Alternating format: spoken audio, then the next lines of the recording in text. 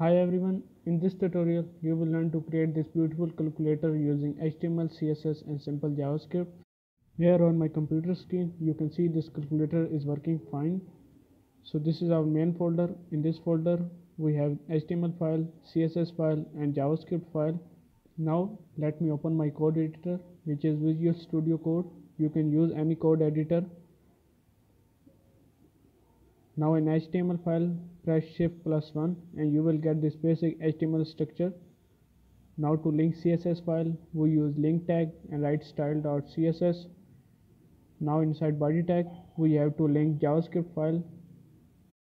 For that we use script tag and write script.js